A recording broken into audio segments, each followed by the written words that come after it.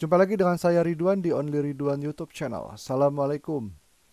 Pada video tutorial kali ini saya bagikan kumpulan desain nota siap cetak format Corel.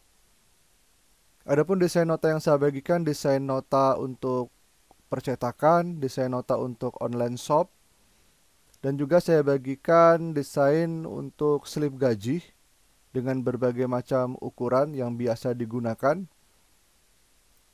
File yang saya bagikan sangat mudah sekali untuk diedit ulang teman-teman. Silahkan teman-teman ganti nama perusahaan, nama online shop, nama percetakan. Untuk font saya gunakan font standar, saya menggunakan Arial dan Impact. Nah, bagaimana cara mendapatkan desain-desain nota ini? Silahkan teman-teman simak video ini. Cukup singkat videonya, silahkan teman-teman simak. Pertama, teman-teman buka browser. Silakan teman-teman buka browser teman-teman semua, baik itu Mozilla atau Chrome. Lalu teman-teman ketikkan, di sini saya ketikkan tutoriduan.com. Nah, seperti ini. Karena ini adalah postingan baru, maka akan tampil di halaman utama di sini. Tiga postingan yang pertama itu nota online shop di sini postingannya. Lalu yang kedua itu desain slip gaji. Yang ketiga itu desain nota untuk percetakan. Nah, jika tidak tampil di halaman depan ini, silakan teman-teman masuk ke kategori. Masuk ke kategori pilih nota di sini. Nah, klik nota. Maka akan tampil kategori nota. Nah, silahkan teman-teman buka. Kita akan buka yang pertama, nota all shop atau online shop. Di sini saya bagikan 5 desain, teman-teman. 5 desain. Desain yang pertama seperti ini, ukuran 10 x 16 cm. Link downloadnya di sini. Passwordnya ini. Font yang saya gunakan ini. Lalu desain yang kedua 10 kali 16 cm landscape seperti ini. Ini nota ada backgroundnya. Silahkan teman-teman ganti alamat Facebook, alamat Instagram, alamat WhatsApp-nya. Silahkan teman-teman ganti sesuai dengan yang teman-teman miliki. Lalu desain yang ketiga seperti ini ukurannya kecil 10,5 kali 11 cm link downloadnya ini, passwordnya ini. Lalu yang keempat sama ukurannya 10,5 kali 11 cm, cuma ada background ya seperti ini teman-teman. Link downloadnya di sini. Lalu desain yang ketiga seperti ini. Nah seperti ini. Ini ada background sesuaikan dengan keinginan teman-teman. Backgroundnya bisa diganti ya teman-teman ya, bisa diganti sesuai dengan keinginan. Ini saya buat eh, bulat-bulat uh, berwarna biru backgroundnya. Tinggal teman-teman ganti saja nama all shopnya lalu di sini logonya silahkan teman-teman ganti. Nah ini untuk nota online shop. Oke selanjutnya desain slip gaji. Saya buka. Di sini saya bagikan empat desain teman-teman. Ini biasanya desain yang digunakan untuk pengurusan misalkan mengajukan kredit gitu ya. Atau lain-lainnya, ini biasa digunakan. Desain yang pertama seperti ini. Ukuran A5 potret. Lalu desain yang kedua seperti ini. Ini lebih detail, lebih detail banget. Ini ada tanda tangan personalia, ada tanda tangan pembukuan, ada tanda tangan penerimanya. Seperti ini detail banget yang ini.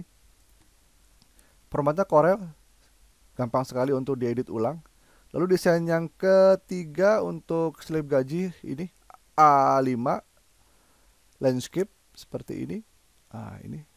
Ini juga detail sekali. Tinggal mengganti kop suratnya di atas ini. Desain yang keempat seperti ini. Oke ya, formatnya Corel sangat mudah sekali untuk diedit ulang. Lalu postingan yang terakhir Ini yang paling baru ya teman-teman. Ini di sini. Nota percetakan. Ini biasa yang digunakan teman-teman percetakan. Ini formatnya landscape. Seperti ini. Formatnya landscape. Tinggal teman-teman menambahkan nama, logo, alamat, siap cetak ya. Ini judulnya invoice. Lalu desain yang kedua seperti ini. Saya buat kotak-kotak kotak-kotak gitu ya. Ini ada jumlah, ada uang muka, ada sisa gitu ya. Lalu tanda tangan di sini. Uh, terus produk-produk yang kita jual apa saja atau jasa yang kita jual apa saja. Desain yang ketiga seperti ini. Judulnya nota penjualan. Ada nomor form. Ini nama, alamat, nama percetakannya, alamatnya. Di sini tinggal menambahkan di sini catatan-catatan yang perlu ditambahkan. Lalu desain yang terakhir, ini lebih kecil, ukurannya 10 kali 20 cm. Nah, seperti ini. Nanti teman-teman akan mendapatkan format Corelnya seperti ini. Untuk desain online shop seperti ini, tinggal diganti-ganti saja teman-teman. Yang pertama, yang kedua, ketiga, keempat, kelima.